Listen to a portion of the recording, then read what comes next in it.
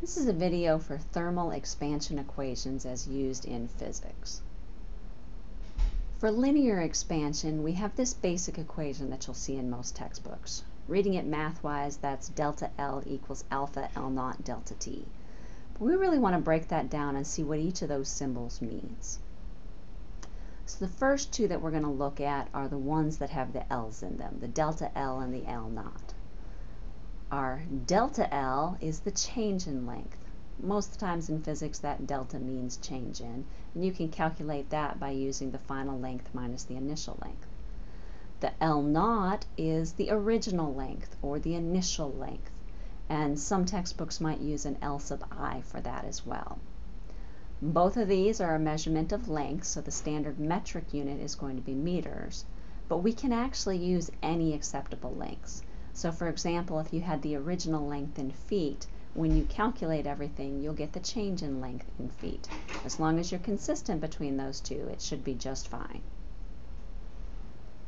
Next variable we'll look at is delta T. Again, the delta is the change in, so this is the change in temperature, which would be the final temperature minus the initial temperature. And make sure that you realize that this could be positive or negative.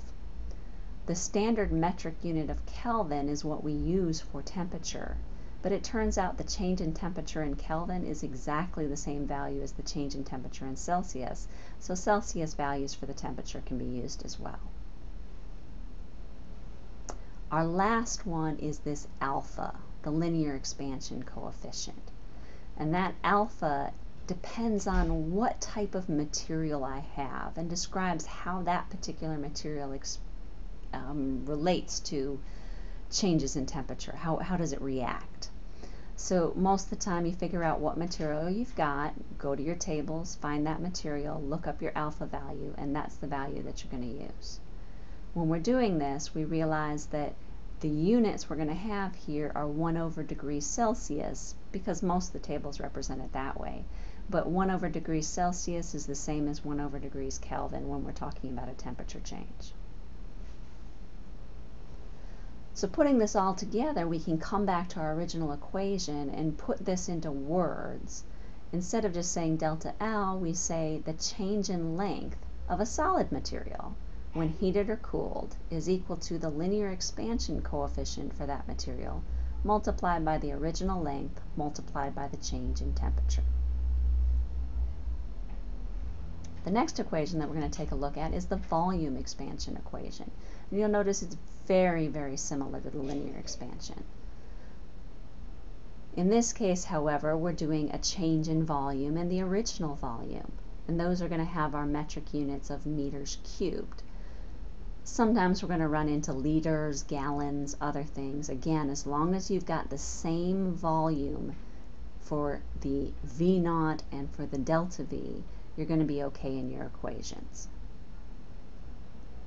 Delta T is exactly the same between these two equations, the change in temperature.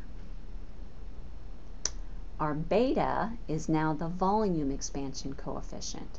And again, it's in tables, and it's generally for both solids and liquids. Sometimes for the solids, they won't list the beta value, but in that case, beta is 3 times alpha. And you'll see that in some other references as well and again the same basic units. So putting it all together, our volume expansion equation can be expressed as the change in volume of a solid or liquid when heated or cooled is equal to the volume expansion coefficient for that material multiplied by the original volume multiplied by the change in temperature.